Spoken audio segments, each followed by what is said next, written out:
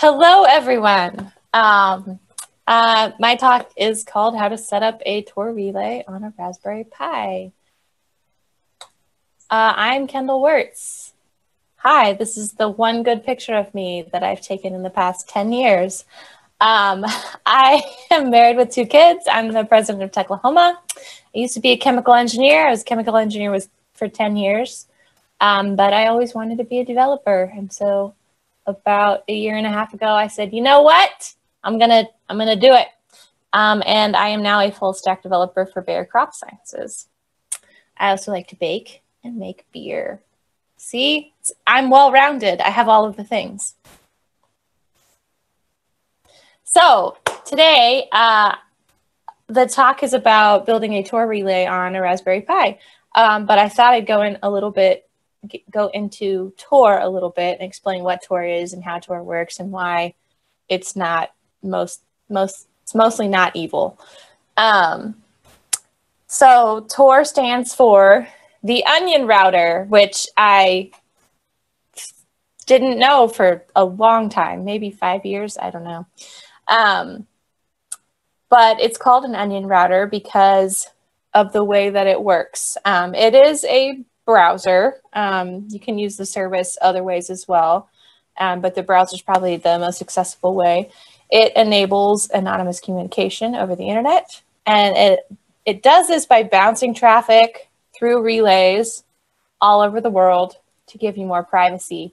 Um, now, I really wanted to find, and if, if this is a thing, please tell me. I swear I've seen a movie or a TV show where they show uh, they're tracking internet traffic, or maybe they're tracking some cell signal, I don't remember, and they see it bounce to one server and then to another server and then to another server. I really wanted to find that video and play it for you. Um, and I searched for a while, but I couldn't find it. Um, but that's basically what Tor is, um, that concept. So you'll have an entry node, which is where I am. Well, not necessarily. We'll say this green dot is my computer. Um, and then it will my computer will encrypt the traffic and send it to an entry node uh, somewhere within the Tor network. Um, and then it'll bounce around on different Tor servers until it comes out at an exit node and then uses that exit node to go where I want to go. And so people at the exit node won't know where I am or where I'm coming from. Um, and and nowhere along the line of traffic do people get to see my get to see my internet traffic. Um, so this is an example with computers, not the default map that I found in this slide deck theme. Um, but so this is my computer. These plus signs are all Tor relays. Um, you can, the service will pick a path for the relays. Um, and then at the exit node, you'll access the, uh, the server and the information that you, that you want to know. Um, yeah, and so the red is unencrypted and the green are all encrypted. But I don't need privacy. I have nothing to hide. Aha, this is where you're wrong. And I've lost my slides. One second. Um, oops. You all have bathroom doors, right? Um, sometimes you just want to hide things. Uh, you may want to look up some information on a disease that you're worried you might have, or you may want to look up some information about your kids that you don't want the whole of the internet knowing about. Um, you may have heard the story about a teenager whose father came into Target yelling at the manager, complaining that Target had sent his daughter, who was like 14 or 15 or something, coupons for uh, for baby products. and he was very angry because she's she's underage, she's a teenager. Why are you sending her these baby product coupons? Are you trying to encourage her to have sex or something?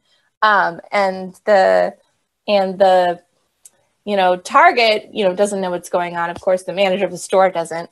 But eventually, uh, it comes out that the uh, as I understand it, the the people who work for Target tried to figure out why this teenager was sent these coupons. And it's just the things that she searches for uh, put her into a little bucket where Target's algorithm recommended uh, that she get sent baby product coupons. And the reason that worked is because the girl was actually pregnant and she was searching for things like uh, moisturizer to prevent uh, uh, stretch marks and things like this. And so um, things that you don't necessarily want uh, everyone to know uh, are going to end up in your search history. So things like Tor and other services like DuckDuckGo, which hide your search your search history and don't sell it to advertisers, um, protect you from stuff like this. All right, so now you all agree that you need privacy, right? By the way, if you have any questions, just uh, feel free to jump in. Just turn your mic on and I just ruined my little thing there. Okay, so what is Tor used for? Julia's, I think Julia's laughing or maybe her screen is just shaking, but I, I hope you find this entertaining, Julia. Uh, what is Tor used for? So it keeps your internet traffic hidden, like we talked about, from advertisers, but also from your internet service pr provider. You may not know this, but Cox or whoever is your internet service provider can sell your your data. It knows every single site that you go to, more or less. It doesn't know your password. It doesn't know how much money's in your bank account, but it knows the URL of every website you go to. So if you go to uh, Amazon and you look for a certain product and that the URL can be matched to something. Um, so your internet service provider knows a lot about you um, and they can now sell that data to people. uh, also, political activists use it um, and people circumventing government censorship also use it. Um, whistleblowers and journalists and the US military and intelligence organizations. Um, so it's used for a lot of uh, a lot of things. It's also used for hacking, uh, black market drugs, fraud, counterfeit operations, and all kinds of other bad stuff. But, um, but I, you know, for me, and I think for a lot of people, the items on the left are important and need to be and need to be upheld. So, you know, yes, watch out, but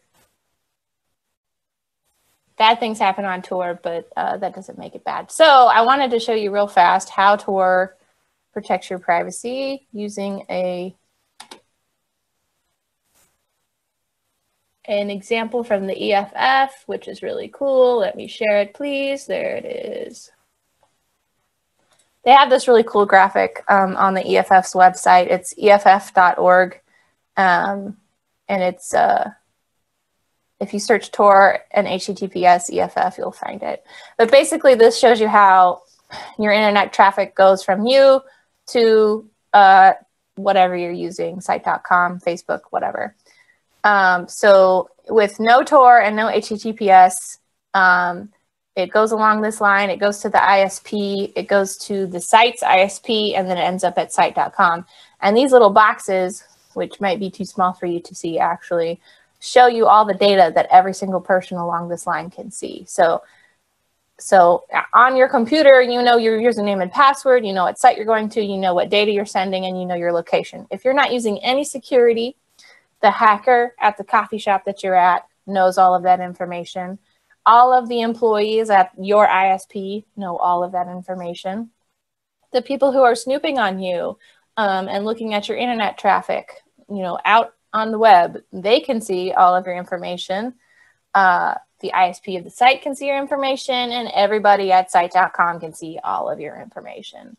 Um, if you turn HTTPS on, again, your ISP can see what site you're going to. They can see where you are and uh, they can see your IP address.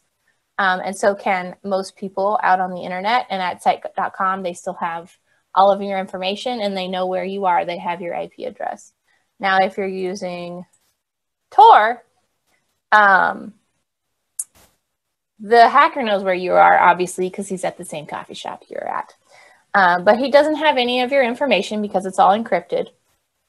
Um, your ISP they have your IP address, obviously, but they know you're over Tor and they don't know anything else. They don't know what site you're visiting. They don't know anything.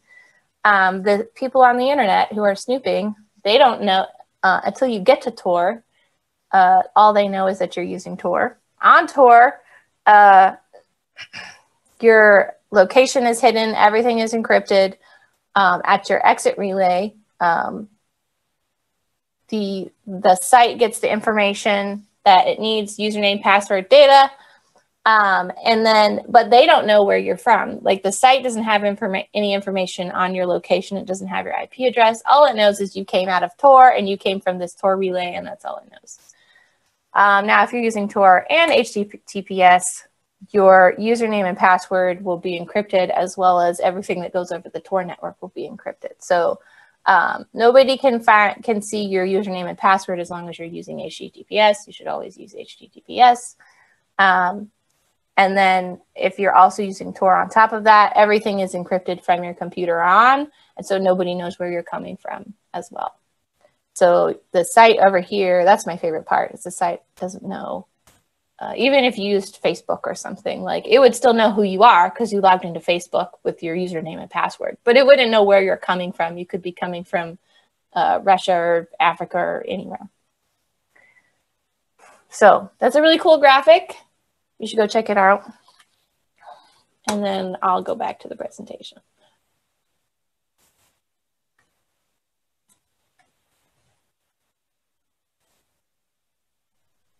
We have one question so far while you're getting that ready. Oh, and go for it. I didn't even. This might be that. something that you are going to talk about. Um, but from Hong, can Tor help with Internet of Things security? So specifically IoT security?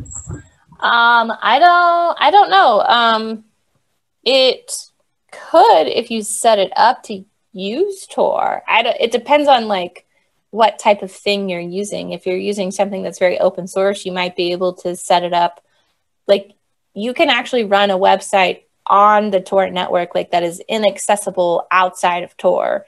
Um, it's called a dot onion website. Um, and if you can set up your IoT items in your house to be running on on a dot .onion address, that might that might work. Um, but if it's like something from Samsung or something, I don't I don't think it's going to help much. Um, it's oh, it's really up to the security of of the device itself and the manufacturer if it's not like an open source technology. Um, but a shameless plug for Mozilla, they always publish a um, a every year they publish like a buying guide that that sort of rates how secure certain items are and a lot of the items they look yeah. at are going to be internet of things type type items so okay that's good to know and it looks like uh, diana posted uh, darknet concepts for iot security of things so, so fun reading for afterwards that's exciting. All right. Thank you, Kendall. Share this. Go back. Where is it? Oh, this one. All right. Back to the presentation, yes? Okay. So, what's a relay? It's not this. That's that's not the kind. Um, all of the computers in between are the are the relays. So um, and that's what that's what I decided to build because the more relays the Tor network has, the stronger it is. Um, the more the more places you can jump to to move your signal around, the more protected journalists and polit political activists are, right? Um, so there are three different types of relays. There is a guard and middle relay, there's an exit relay, and there's a relay called a bridge. Um, Guard and middle relays are anything but an exit relay. So these are both guard, these could both be guard and middle relays. Um, and you basically tell, when you set up the relay, you tell it whether or not you want to be an exit relay because exit relays um, can be a little bit of uh, a pain. Uh, yeah, sorry, I'm looking at my speaker notes. Um, exit relays are where you get into trouble. So Tor does not recommend that you run an exit relay for, from home because all of the traffic that comes out of an exit relay is un, is unencrypted uh, from Tor. And so if someone is going onto Tor to download, I don't know, Happy Gilmore or something, and your ISP sees that and flags it. I don't know. Surely none of you have ever downloaded anything uh, and been flagged by your ISP. I certainly have not, um, and certainly not more than once. Um, but all of that traffic is going to be seen by your ISP. And so if that's coming from your exit node and your exit node is at your home, Cox is going to think that's you. And that's, you know, obviously that's not you, but you're still going to get in trouble for it. So don't run an exit relay from home. But I think that the basic install is not, oops, not an exit relay. It's a guard or a middle relay. Um, the third, so basically you run an exit relay from like a, a server somewhere and people often pay money to run exit relays because they're just good people. Ah, okay. So, and then third type is a bridge. And I don't know how to set up a bridge, um, but bridges are basically just secret entry nodes. So all these guard and middle and exit relays are all published. And so like you can, if you have a website that's like getting a lot of attacks from Tor, uh, oftentimes places will just shut down all traffic from Tor. Um, and countries that that um, are censoring things like Tor, censoring the internet and things like Tor, will just shut down access to all IPs that are listed under Tor. And so what a bridge does, it's it's basically just a secret list of entry nodes so that if you live in one of those countries where those are blocked, you can uh, you can find I don't know how, but you find a secret list of, of bridges and you use those as entry nodes instead.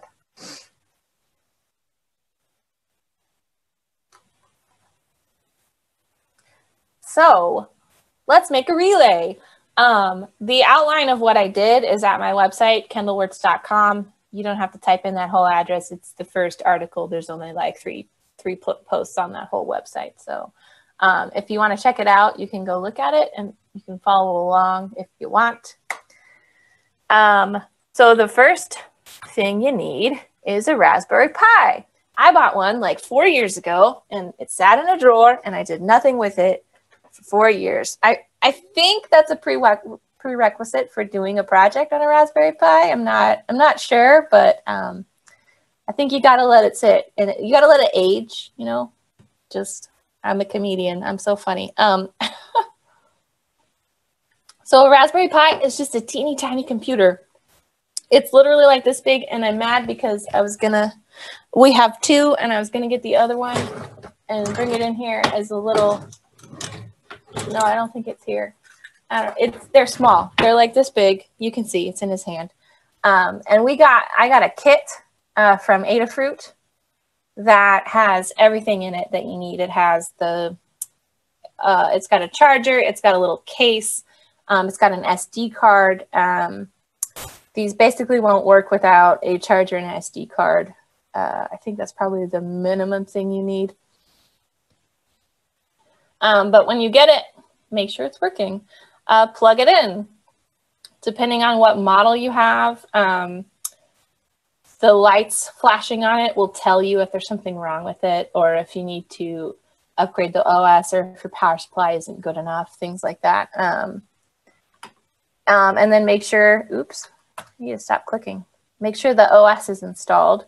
Um, I that's I think the problem I ran into when I first I actually tried to do this like two or three years ago when I first got the the Pi. Um, I uh, I tried to install a new OS on it, and I did I didn't have a keyboard and mouse. I didn't have an extra keyboard and mouse at home, or keyboard and monitor rather um, at home. And so I was trying to do everything headlessly and I couldn't figure out what was wrong with the dang thing because it wouldn't boot up to tell me, you know, you have to get it to boot up to be able to SSH into it and, and uh, look at it without a monitor. Um, but uh, I couldn't get it to work and that's why it sat in a drawer for four years. So definitely recommend having a monitor and keyboard handy. Um, yeah. Uh, and then make sure you change the default password, especially if you're going to use it as a Tor relay. Change the default password. Okay, but once you have your OS installed, I just use the regular, uh, the default, I think it's called Raspbian is the default OS. Uh, and I use that. And then once you get it all set up, you can turn off the GUI part of it. So it's not bothering to boot up a GUI and run a, run a graphics environment. Um, so it can just focus on Tor. All right. Uh, the next complicated thing was setting up and this isn't that I said complicated. It's not that complicated. It's just the part that caused me the most problems, um, and I bet is most likely to cause you the most problems if you're doing this from home. Um, is to set up a static IP and um, open up ports on your router for port forwarding. So uh, here's a beautiful image I stole off the internet of no, okay, of um, a router setup but basically, the router is blocking a lot of stuff that comes into to uh, your network, um, and only only things on I can't remember what port it is, but one certain port are allowed to come in probably right now if you were set if you have it set up to the default.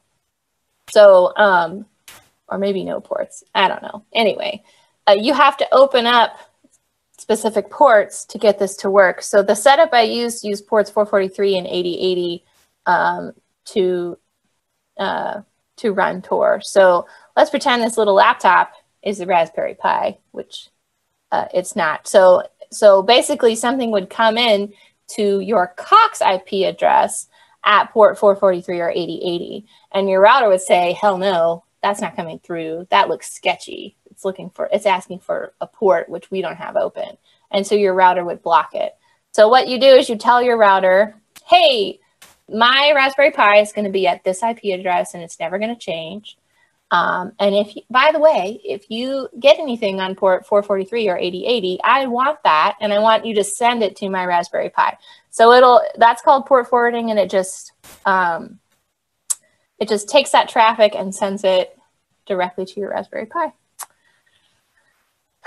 Let's see, did I cover everything? Forward request from your internet to your Raspberry Pi. Yes, yes, yes.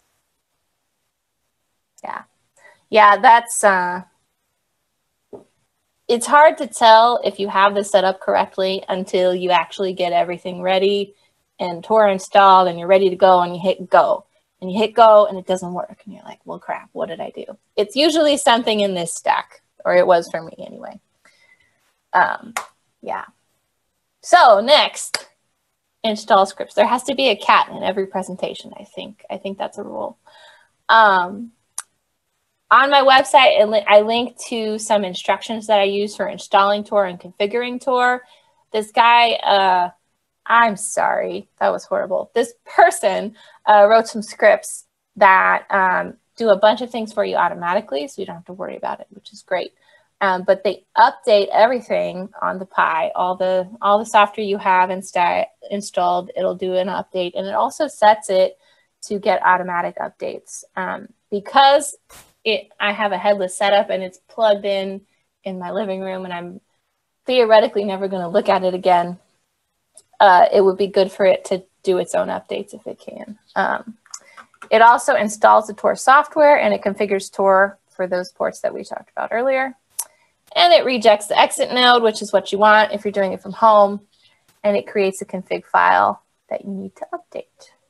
Uh, and it also configures port forwarding on those same ports. So it handles all of that for you, which is, which is great. But I will say, if you do run a script on a computer that you found on GitHub, make sure you read through it first. make sure you read through it first. That's all. make sure you know what it's doing and don't just run a random script you found on GitHub. Anyway, let's see.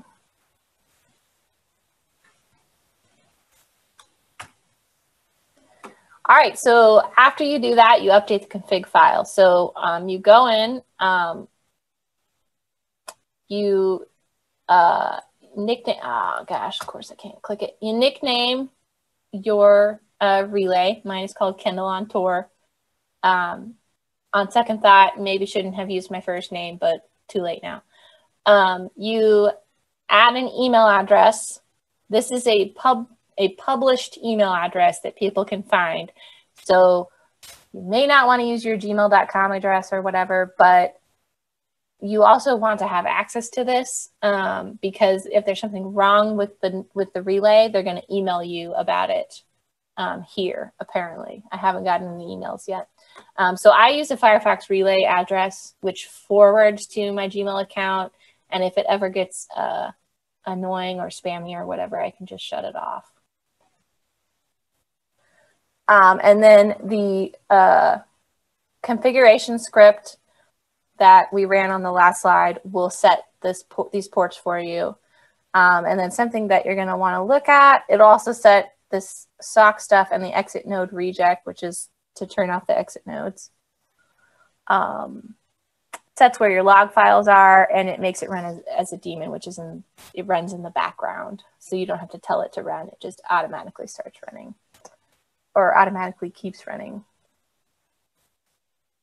Um, and then the other thing you want to set is the relay bandwidth rate and the relay bandwidth burst. Um, so as I understand it, if you are like topping out your upload speed with Cox, they're gonna they're gonna they might get a little upset and they might come talk to you about that. So what um, I did and what I've read to do is to go to like fast.com or some place that measures your download and upload speed. Um, and not your download speed, that's the main one that people are mostly usually worried about, but your upload speed is what you care about here. You measure your upload speed on a day, I guess, that feels average. I don't know. Um, and then you, that's in, usually that's in megabits per second. So you have to convert it to kilobytes per second. Um, um, so you don't want to give it, th this basically tells the relay, this is how much bandwidth you can have and you can't have any more. Uh, the rate is the average and then the burst is, oh, every now and then you can have up to this, but you can't have any more than that. Um, so you probably want your burst at like, I don't know, maybe half of what your upload rate usually is. I think these were the default settings that came with, um, uh, that came in the config file. So uh, it,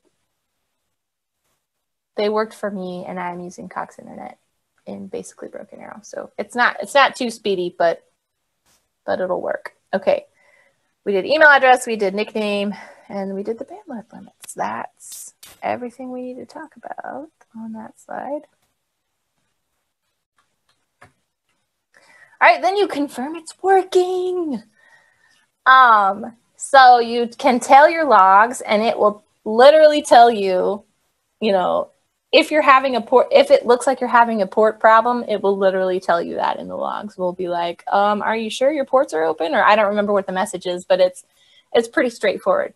Um, and if it's working, it'll be like, hey, success, it worked. Um, so that's really helpful. And then, and that'll happen immediately once you've started it, the service. Um, and then after a few hours, you can actually look yourself up on metrics uh, on the node search. So let's go find me. Is, yeah. So this is me. This is my Tor at home, or my node at my relay at home. Kendall on Tor. there's me. Uh, that's my crazy email address.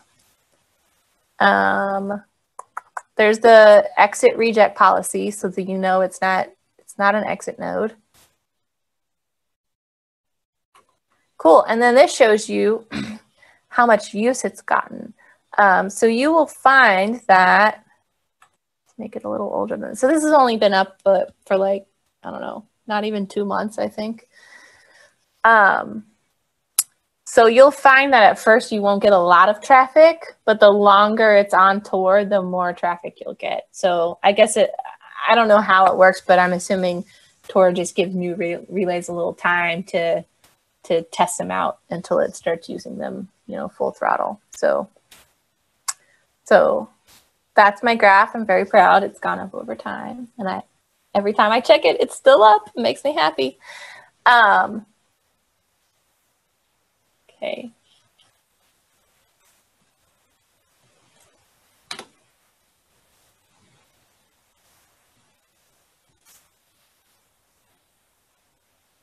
Okay. All right, so we've confirmed it's working. All right, the next stuff these are optional things. Um, this just talks about how I um, I sort of talked about this already, but um, I set it up with Raspbian OS, which has a, as a GUI. Um, and so once it was all set up and ready to go, you can turn the GUI off. So it won't boot up into the into the GUI. It'll it'll boot up into a command line interface. Um, so that probably is a good thing to do. Um, you can also add, um, oops, uh, SSH. You have to turn SSH on in Raspbian OS um, so that you can log in remotely. So right now it's it's plugged in behind my entertainment center, you know, right next to my router. No monitors to speak of nearby. So if I want to look at it, and actually, let's go look at it. Why aren't you working? Come on, Zoom, be cool.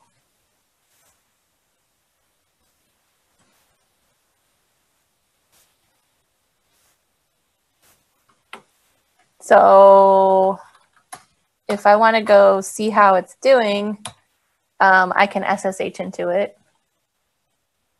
Um, and then the other thing that's on this slide that you can't see anymore is uh, Nyx. So Nyx is another way to tell to see how how the relay is doing, if it's if it's working, if it's running. Oh gosh. Um, so you can see here that there's a, oh, that's that. Let's try this again. That's better. Um, so you can see here that there's movement, that it's it's receiving, it's downloading and uploading things, so you know that it's working. Um, that's the only thing I use Nyx for. I'm sure you can use it for a lot more cooler things, but I haven't really messed with that yet. Basically, just reassurance that it's actually doing what what I thought I was doing.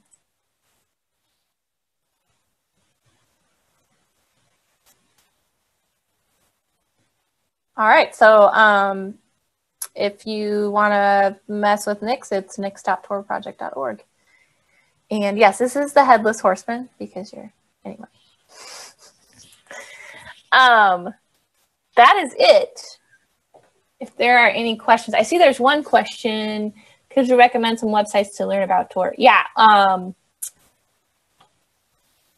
prob- torproject.org is a really good one it's just the website of the Tor project. They have a lot of informational.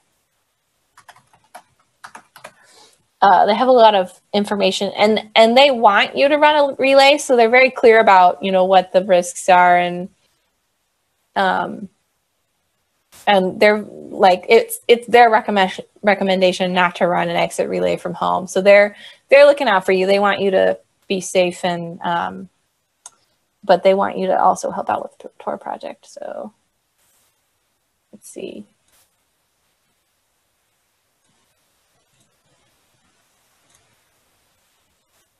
There we go. That's torproject.org. um, they've got good stuff. It'll tell you all about um, relays and um, how Tor works and kinds of stuff. Was it Tor Project where you found the specific Raspberry Pi setup information? Um, I actually uh, searched for a few things. Like, yes, you can get um, there. There is a procedure on how to set up a Tor relay on um, on torproject.org. That's not the one I use though, because um, it it's it's actually you could probably just do that. You could probably just follow that um, procedure. I just use the scripts because I'm lazy. um, so yeah, that's what I did. There there is and let's see. My website actually has a link to the You can follow the official Tor documentation. Here it is. Nope, that's not the right button. so there's a Tor wiki that has a Tor relay guide, um, and it tells you how to install it. Um, the scripts and the the the one I use were more specific to a Raspberry Pi because since the computer has to always be running, or it doesn't have to always be running, but the relay is more reliable and Tor starts using it more if it's always running, right? And so you could run it on like your laptop, um, but it's only going to be running when your laptop's open and connected, and also slow your laptop down. So, like for me, this was like uh, not just oh I you know I want to do this cool thing on a Raspberry Pi. It was like oh I want to contribute to Tor because I think it's important. Okay. Um, and so instead of just you know, running it on my laptop, I was like, I want something that is in my house that is always running Tor. So, and I'll keep running it until knock, Cox comes knocking on my door. um, so, for my understanding, um, so then from your house, if you're on the internet, you're still not Tor browsing unless you actually are in a Tor browser. Like this doesn't affect all traffic to your house. It's just adding another node to the Tor network. Yes. Okay. Yes, exactly. So I didn't talk about that at all, but you can download the Tor browser and uh, let's see. Here it is right here. Let's try this one. So this is the Tor browser. It's um, it's built on Firefox something. It's the stable version of Firefox. Um, so it doesn't update very often, except I probably haven't used it in a long time. So, so it's running Tor right now, and it'll tell you. Uh, I don't remember. There's a website you can go to that'll tell you, oh, hey, you're on Tor. Or, um, but every time you open it up, it'll log in and connect you.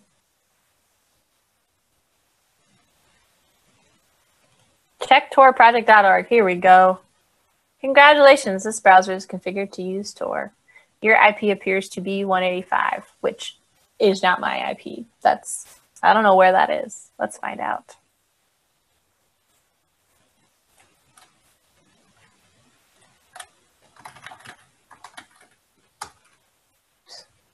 Every time.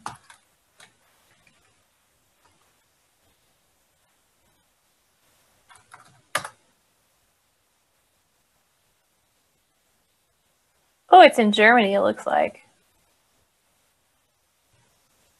Maybe not. That's the thing is, uh, look up. Here we go. Um, but I was wondering, like, if if the Tor nodes are hidden in the Tor network, like, do, do any of their IPs really show up where they are? So the you'll have the IP of the exit node. So this exit node is oh, in okay. I don't know. It doesn't say. Oh, it is in Germany. okay. Um. So, and if you ask Google, like, where am I, or yeah. something, I don't. I'm assuming you can do that, but it'll tell you that that you're in Germany. Um, mm-hmm. and a lot of times things will show up in German because. Oh yeah. Yeah, like all my all the Google stuff is. I don't even know.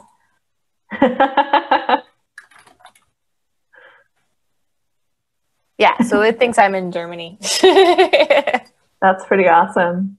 Well, that's fun. Any other questions?